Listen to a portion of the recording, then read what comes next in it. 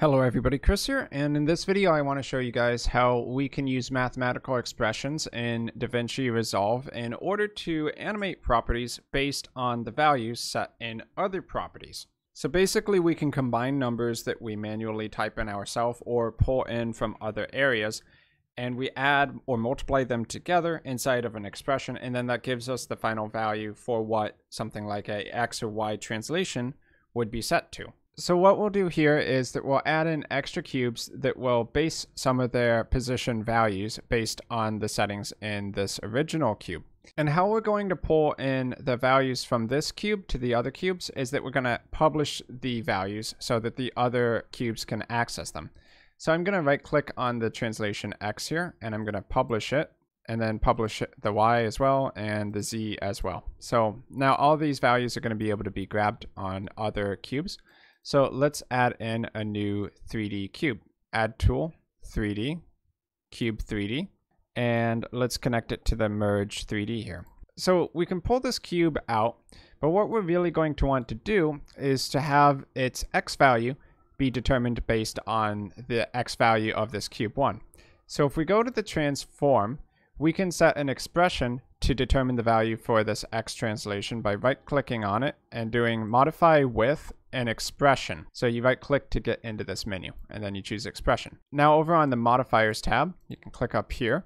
You can set numbers in order to do a simple mathematical calculation. So for number input 2 down here, I'm going to right click and connect it to cube 3D 1 and then the x offset.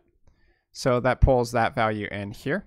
And then for number in 1, we'll add 1 to whatever that number in 2 value is going to be. So we can combine those numbers now on the number out tab.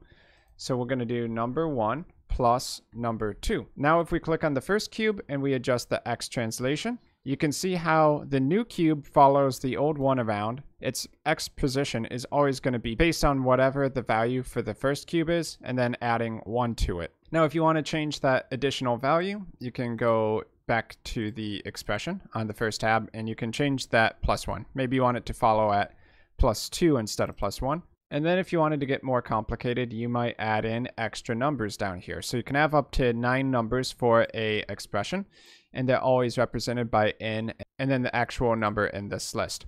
So if you happened to be putting numbers in for point n1 and point n2, and then you go over to the point expression tab to calculate them, then they would instead be represented by p1 and then the x value, or you can say p1 y value. So you have to use p for the point, and then you have to specify whether it's a x or y value at the end in order to use that. So you could do something like p1x plus p1y.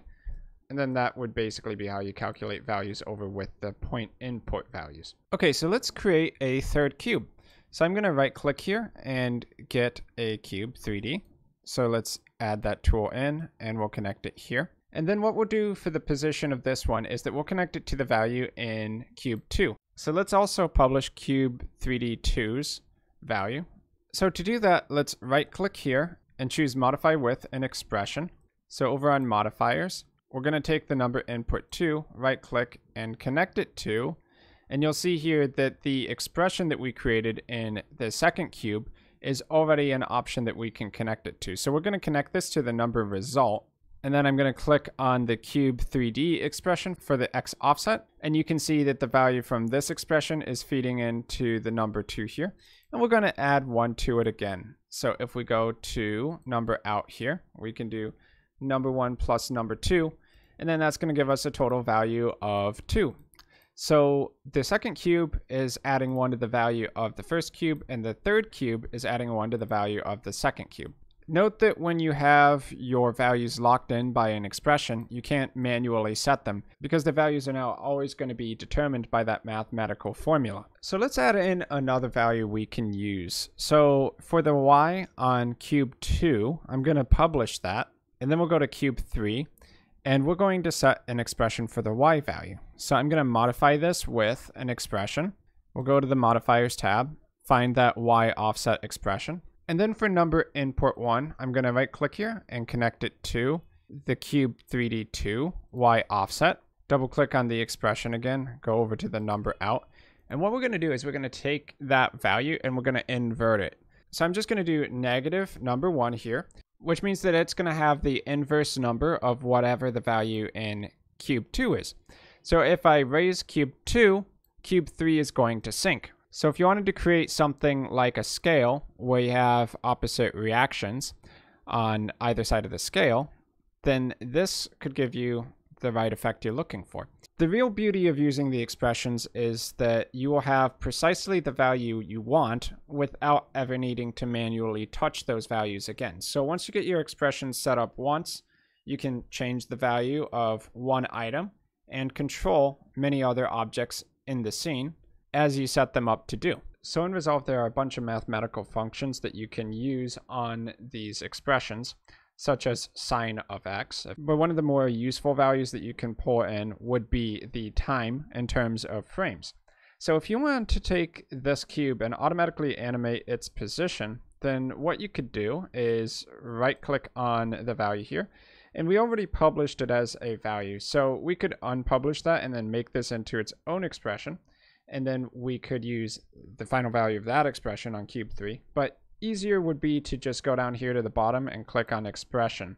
So here we can just take this and set it to uh, time. So this is going to mean that whatever the frame is, is going to be the y value for the translation for this cube. But if we wanted, we could have this go in a wave up and down by taking the sine of time so if we take this expression, we can go throughout the timeline and we can see that basically we have this wave going on. So from the looks of things, the expression value here isn't actually being received properly by the third cube. So what we may need to do is to take this expression and put it in a separate published value. So I'm going to select it hit Control C to copy it for later, and then I'm going to right click and remove the expression. I'm also going to remove the publish on this value, and then we're going to create an expression the uh, way where it can be received by other property expressions, and we're going to make this expression here. So this expression now exists as a modifier. We need to go in here, and we have expression 4 on cube 3D y offset. So that's what we're going to want. And rather than adding in numbers, we're just going to go straight to the number expression tab. And then we're going to control V paste in sine of time. So we don't need any direct numbers because the time is already being pulled in from the scene. So whatever frame here is going to determine the value for this. So now that we have this set up as an expression that can be directly referenced, we can go to cube 3 and then we're going to do the expression 3 on cube 3D 3 y offset just like before the third cube's y offset. And then we're going to right click this and remove it. We're going to right click on number one one more time. And we're going to connect it to now the y expression on cube 2. So the number result here. And now it's going to work properly. So whatever the value is on the cube 2, the inverse is going to happen on cube 3. Since we already had that expression set up, it's still negative the number 1, and the number 1 is the value that comes from the second cube.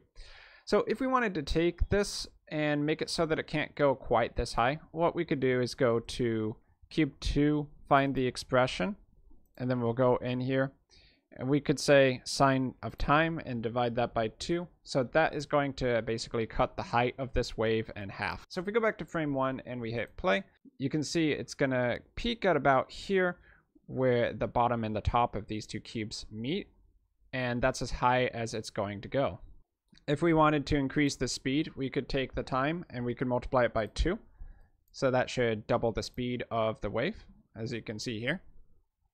So that in a nutshell is how you use mathematical expressions inside of DaVinci Resolve, at least at a basic level. So as you can see, when we adjust the position of cube 1, it moves the x of cube 2 and cube 3 as well. And then cube 2 is running on a sine of time wave, and then cube 3 just uses its position as the inverse of cube 2. Now that would be a lot of work to set for every single frame, but by using mathematical expressions, we can calculate that on every frame, and it saves us a lot of work. Also smooths out the animation, for that matter. So I've been Chris, thanks for watching, and I will see you guys on my future video content.